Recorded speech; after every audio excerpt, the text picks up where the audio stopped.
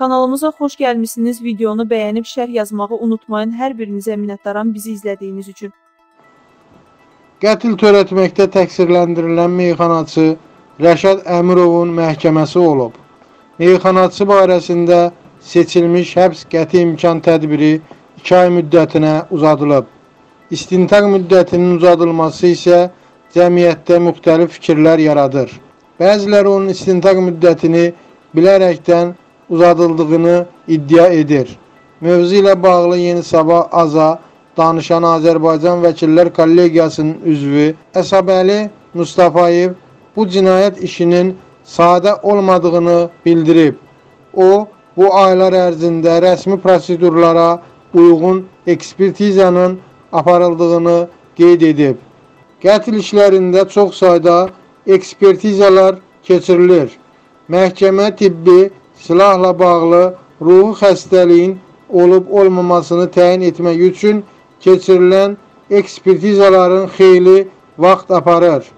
Mən güman edirəm ki, istintaq müddəti bu ekspertizalara görə uzanır. Həm də bu qətil məsələsidir. Cinayətin hərtərəfli tədqiqatının aparılması vacibdir. Təkcə həmən gün baş verən cinayət araşdırılmır. Məhkəmə həm də qətildən əvvəlki münasibətləri araşdırır, şahidləri dindirir. Bunlar hamısı aydınlaşdırılmalıdır. Qətlin təlim tələsik 2-3 aya istintaqını qurtarmaq mümkün deyil. Praktikada heç vaxt belə olmayıb. Praktikada qətllə bağlı işlərin istintaqı ən aşağı 7-8 ay davam edir. Görünür Rəşad Dağlının işində də belə olacaq. Bu cür qətillərlə bağlı istintaq 7-8 aydan çox çəkmir. Amma elə qətillər var ki, çox epizodludur. Onların istintaqı 1 il yarım 2 ilə qədər uzanır. Qanun da buna imkan verir.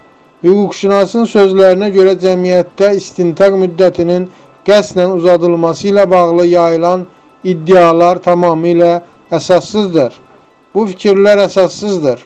Qətli kimin törətməsindən asılı olmayaraq şəxs həmin maddə ilə tövsif olunacaq. O həmin maddədə də öz cəzasını alacaq. Tərəflər arasında hüquqi varislərlə barışıq olmasa, şikayətin olmaması müəyyən yüngülləşdirici hal kimi hesab oluna bilər. Ancaq bu cəzanı çox azaltmır. Məsələn, cəza 12-13 deyil, 9-10 il ola bilər. Yüngülləşdirici hallar 1-2 il cəzanın azaldılmasına səbəb olur. Rəşad Dağlı üçün daha yüngül cəza mümkün deyil.